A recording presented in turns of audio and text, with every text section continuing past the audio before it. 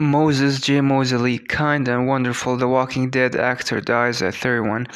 Actress Melissa Cohen said Moseley picture was truly one of a kind and class and class act. Stars and makers of The Walking Dead have paid tribute to actor Moses J. Moseley, who has died at, J- at the age of 31. Moseley played the armless and jawless Mike, a pet zombie on the hit post-apocalyptic TV horror show. Co-star Jeremy, Jeremy Palko described the late actor as an absolute kind and wonderful human being.